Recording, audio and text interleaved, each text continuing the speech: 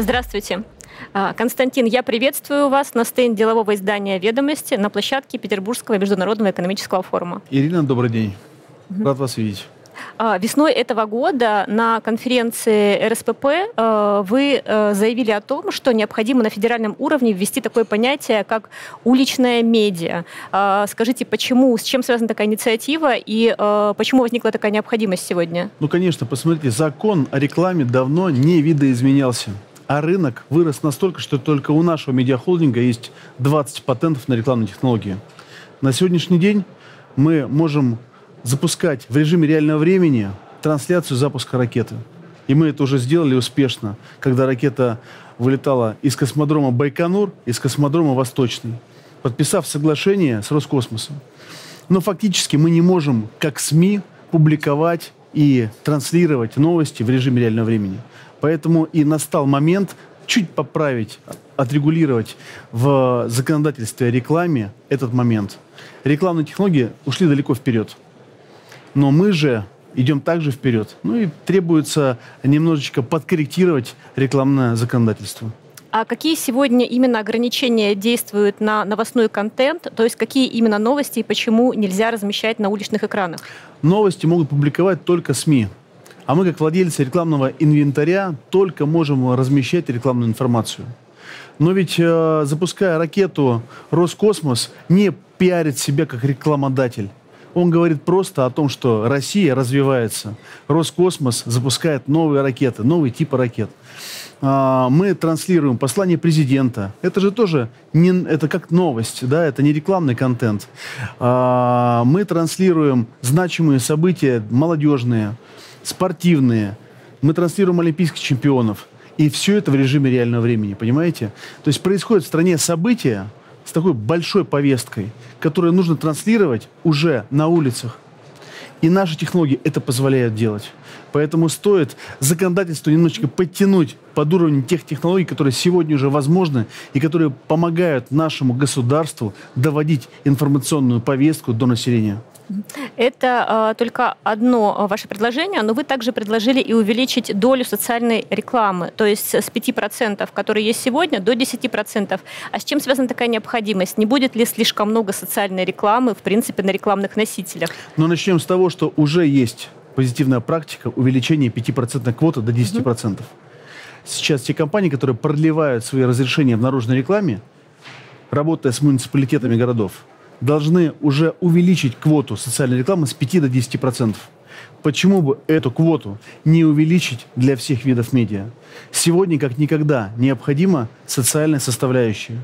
Социальная реклама, социальные медиа, те новости, которые мы, например, как медиахолдинг, публикуем сейчас в режиме реального времени, бесплатно, без всяких квот. Я считаю, что все СМИ и все традиционные и нетрадиционные виды медиа должны подключиться к этому законопроекту и увеличить квоту с 5% до 10%. Социальных новостей сегодня огромное количество. И это то, что создает позитивную повестку в России в целом. И а... эта позитивная повестка должна быть не только в наружной рекламе, в медиарекламе. Вот уже закон принят. С 5 до 10% уже увеличили квоту социальной рекламы. Почему бы ее не увеличить не в телевизоре, и на радио, и в интернете. Угу. А, Это ведь реально. Коллеги в традиционных медиа поддерживают вашу инициативу? Как раз-таки мы создали а, в рамках комиссии по медиа в РСПП, мы создали группу, которая обсуждает сегодня все плюсы и минусы этого дополнительного изменения в рекламе. Я вижу уже большое количество тех а, крупных компаний в России, которые поддерживают эту инициативу.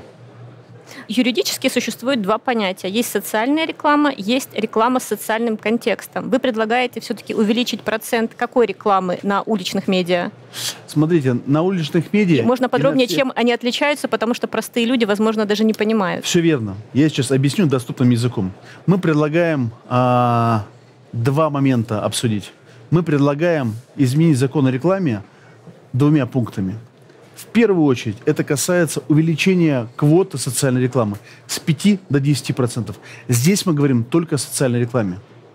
Но мы можем сказать еще и о, о социальной значимости рекламы. Mm-hmm. Ведь огромное количество рекламных роликов, рекламного контента снимается каждый год крупнейшими компаниями России. Так почему бы не включить в техническое задание по съемке этих рекламных роликов дополнительную составляющую социальную.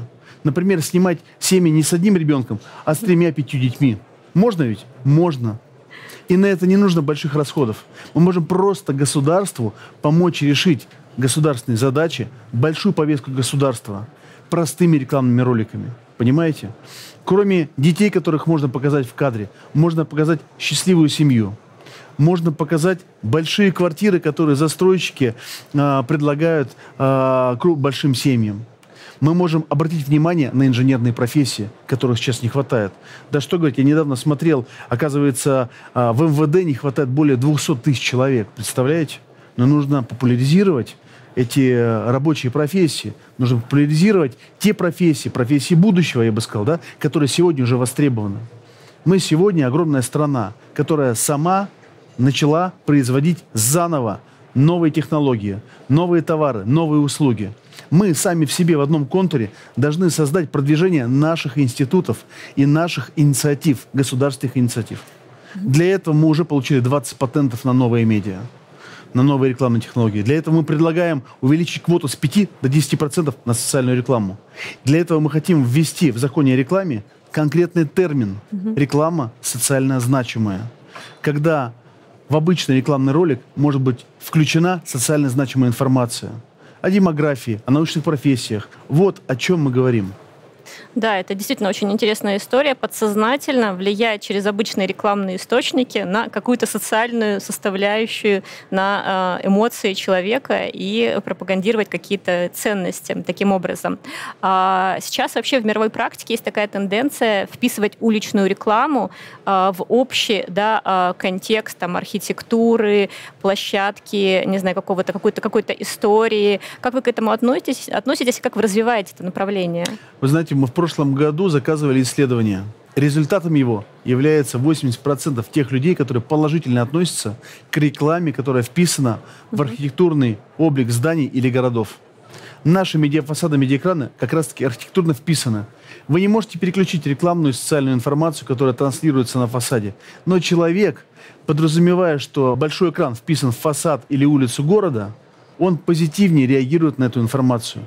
Более того, мы, используя наши рекламные технологии, можем потом найти этого человека, который прошел мимо медиафасада в интернете, собрав обезличенные данные. Это очень э, меняет суть дела доходимости информации до человека.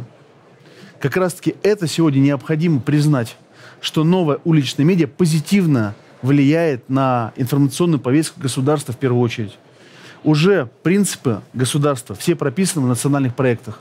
Очень просто их соблюдать. Нужно просто любую рекламную информацию заворачивать в ту социальную ответственность. Да, идеи понятны, прозрачны и довольно-таки интересны. Остается ключевой вопрос, как здесь соблюсти баланс интересов государства, интересов э, таких компаний рекламных, как ваша, и интересов потребителей. То есть должна быть некая золотая середина, которая должна регулироваться на государственном уровне, в том числе и новые уличные медиа. А, вы знаете, спасибо большое за этот вопрос. Вот а, сегодня я участвовал в сессии, и был представитель одного из маркетплейсов. А, оказывается, у маркетплейсов огромное количество компаний присутствует как создатели новых товаров. Например, у одного из брендов маркетплейсов более 160 тысяч компаний уже присутствуют, и это все российские компании. Огромное количество из них э, это семьи, представляете? Семья создала какой-то продукт и через маркетплейс его активно продает. Так вот, нужно создать условия, в том числе и медиа-условия, медиа-среды нового уличного медиа, который позволяет этим семьям развивать свои товарные категории, свои возможности, чтобы они могли больше развиваться и давать возможность в России внутри, э, давать новым товарам ход и развитие. Константин, спасибо большое за беседу. Э, я рассчитываю, надеюсь, что э, ваши инициативы будут поддержаны хотя бы частично или полностью. Спасибо огромное. Спасибо. Спасибо.